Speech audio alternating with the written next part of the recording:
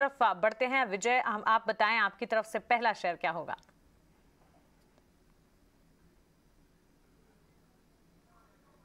Vijay please unmute yourself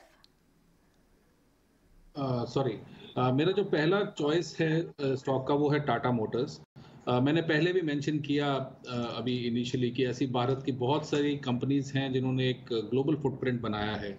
और जो UK की शान कही जाती थी ब्रिटिश ब्रिटिश ब्रिटिशर्स की शान कही जाती थी जैगवार लैंड रोवर उसको टाटा मोटर्स ने खरीदा। तो इसके द्वारा इसको एक ग्लोबल फुटप्रिंट मिला।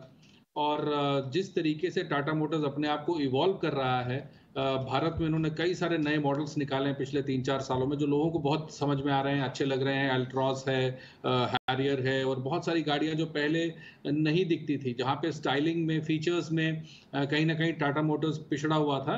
तो अब जेएलआर का जो डिज़ाइन स्ट्रेंथ है इंजीनियरिंग स्ट्रेंथ है, वो आने के बाद मुझे लगता है कि बहुत अच्छा भारत, भारतीय मूल की जो गाड़ियाँ उनके लिए भी बहुत अच्छा होगा और ग्लोबल तो काम कर ही रहे हैं। दूसरी बात अभी भी अगर हम आज बात करते हैं, भारत में सबसे बड़ा जो ईवी e का पैसेंजर व्हीकल सेगमेंट में प्लेयर है वो टाटा मोटर्स है। करीब 60 से 70 प्रतिशत जो शेयर है वो टाटा मोटर्स का है और ये शेयर लगातार निरंतर बढ़ता रहेगा।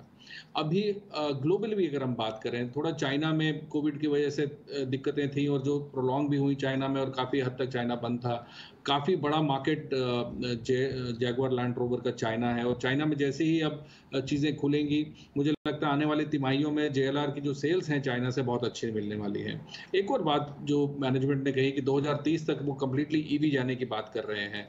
ये बात यू नो आपके सारे दर्शकों को मैं कहना चाहता हूँ कि बैकवर्ड इंटीग्रेट बैकवर्ड और फॉरवर्ड इंटीग्रेटेड कंपनी है टाटा टाटा मोटर्स टाटा केमिकल्स जो है बहुत काम कर रही है बैटरी में। तो ईवी की बैटरीज में, चाहे वो सोडियम आयन हो लिथियम आयन हो उस पर काफ़ी ये लोग काम कर रहे हैं। और मेरा ये मानना है कि ग्लोबल हब बनेगा भारत और यूके बैटरी के लिए। तो टाटा मोटर्स मुझे बहुत अच्छा लगता है और मेरा ये अंदेशा है कि यदि कोई थोड़ी लंबी अवधि तक इस इस कंपनी को होल्ड करके रखे तो ये ये 800 का स्तर भी टच कर सकता है। इसका जो ऑल टाइम हाई था करीब करीब छः रुपए था, जो 2015 में इसने टच किया था और उसके बाद ये नीचे ही रहा है। मगर अब जिस तरीके से कंपनी पूरी इवॉल्व हुई है और हमने ट्रांसफॉर्मेशन देखा है इस कंपनी में।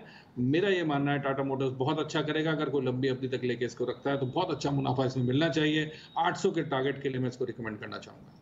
है 800 का टारगेट यहाँ पर टाटा मोटर्स खरीदारी की राय ईवी का एक मेजर प्ले और आपको बता दें कंपनी की तरफ़ से जो कमेंट्रीज भी आती हुई दिखी है, लगातार ऑर्डर बुक का बढ़ने की यहाँ पर खबरें हमने देखी हैं।